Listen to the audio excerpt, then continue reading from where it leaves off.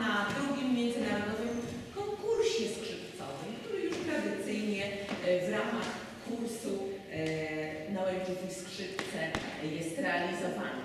E, Przedstawię szanowne jury, które będzie oceniać uczestników konkursu.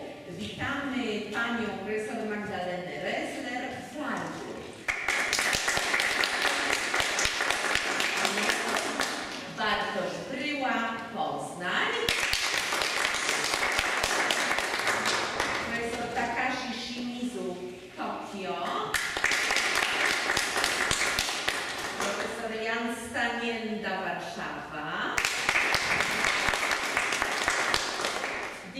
Dimat Kaczenko, Kijów i Londyn. Antoine Billet, Francja. Oraz przewodniczącym jury jest pan profesor Sławomir Tomasik, Warszawa.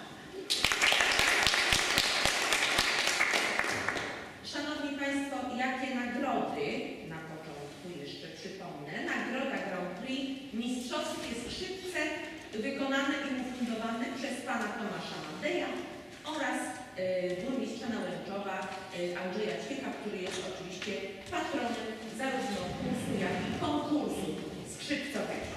Złote medale dla zwycięzców poszczególnych grup wiekowych ufundowane przez Villa Aurelia Hotel i e, srebrne medale dla laureatów drugich nagród w konkursie ufundowane przez Fundację Agri Artisti oraz nagroda dla najlepszego uczestnika z Polski w postaci bezpłatnego udziału w trzecim, a zatem już za rok międzynarodowym kursie skrzypcowym imienia Tadeusza Wrońskiego.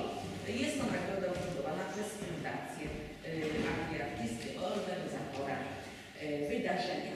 Książki i płyty dla laureatów trzecich nagród i wyróżnień ufundowała Fundacja Skrzypce imienia Tadeusza Wrońskiego, a nagrodę w postaci koncertu dla najlepszego uczestnika z Lublina y, lub województwa lubelskiego ufundował y, SPAM, czyli Stowarzyszenie Polskich Artystów Muzyków Oddział Lubelski.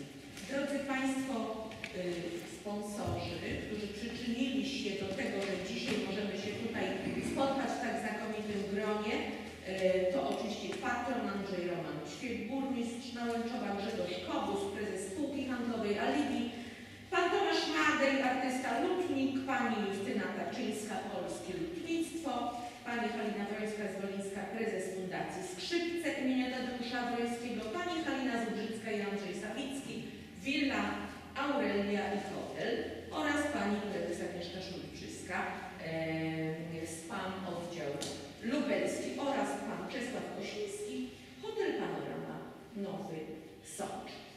Drodzy Państwo, o programie jeszcze chwileczkę. E, Szczegółowo jak będzie przedstawiał się dzisiejszy dzień. E, To Państwu za chwilkę przedstawię. Drodzy Państwo, y, przesłuchania pierwszej grupy już za chwilę się y, rozpoczną. Po każdej grupie jest przewidziana 15-minutowa przerwa.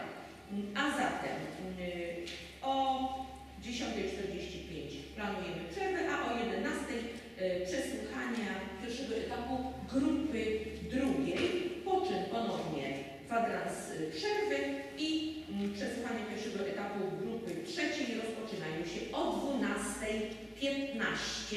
Y, Planowo mają trwać do 13.30, po czym dłuższa przerwa do godziny aż 15. O 15 zapraszamy na ogłoszenie wyników.